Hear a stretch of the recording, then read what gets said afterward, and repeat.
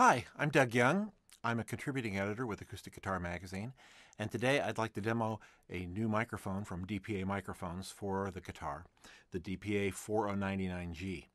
Now you can read the full review uh, either online here at acousticguitar.com or in the August 2009 issue of Acoustic Guitar Magazine. DPA is a highly regarded, well-known manufacturer of studio condenser microphones, and their microphones are found in, in good studios everywhere and often recommended for acoustic guitar. So it's really uh, exciting to have a, a, a, microphone from them designed for live performance. The microphone itself uh, mounts on the guitar. Let me take it off and show you how it how it's put together. Um, it's basically two pieces when it's stored. There's a clip that uh, mounts on the body of the guitar. This slides back and forth to accommodate different body depths very easily.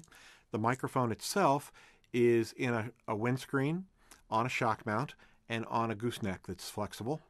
So to assemble this, you simply slide these two pieces together and clip it together with this clip. Fits uh, snugly, but holds the microphone together very well. So you can clip it on the on the guitar by simply uh, holding the top here and pushing the bottom up until it catches. Once it's there, it's held quite securely mounts uh, on the bottom like that. You could put this in different locations. You could put it down here, uh, over here. I like this location uh, because it's a, a, fairly natural position for recording guitar. It's an often recommended spot right where the body and the neck join. Now you can do some adjustments to the tone by moving the microphone. If I want a little more bass, I might move it towards the, the sound hole. If I want more string, I could move it this way. Also, uh, this microphone has a little bit of proximity effect. So uh, proximity effect is the situation with a microphone where the closer to uh, the source that it is, the more bass it picks up. And in this case, if I move it way down, I'm going to get a little more bass. If I move it out, I'll pick up a little more air and a little brighter sound. So we'll just go for a nice compromise, and I'll put the, uh, the microphone right about there. Uh, one thing to watch out for, of course, is when you're picking a location, uh, if you do body percussion or something, you don't want to hit that microphone. So you might have to adjust that.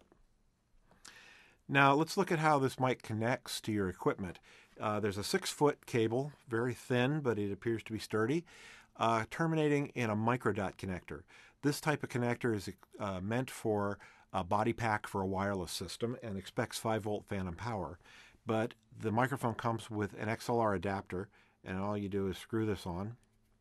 And now I have a standard XLR connector that expects 48 volt phantom power, and I'll plug that into a microphone cord. Uh, in this case, I'm running this into a Pendulum Audio SPS1 preamp, which provides a mic channel with 48 volt phantom power. You could uh, run this into any mixer that provides phantom power for microphones. Uh, many guitar amps also support that. So let's hear how it sounds. Uh, I will kill the vocal mic and we'll listen to just the DPA 4099.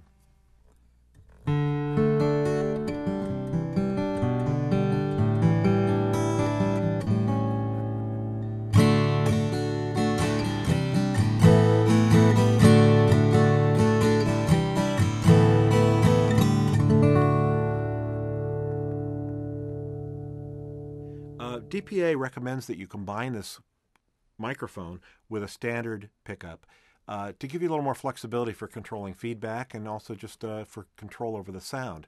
So let's hear how that works. I've in this guitar I have a Seymour Duncan mag mic and a K&K soundboard transducer. I'll shut the DPA mic off, I'll shut the vocal mic off, and let's listen to uh, just how the pickup sounds by itself.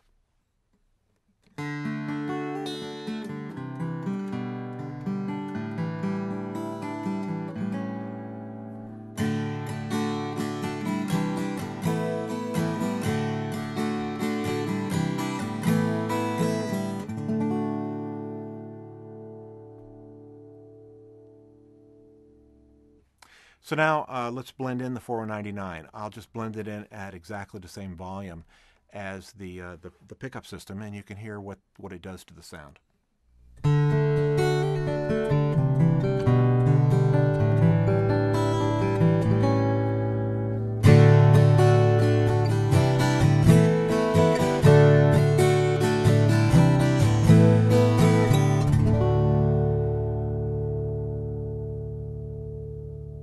So that's the DPA 4099G. It's a very useful additional tool to have to get a little more natural sound out of your live performance.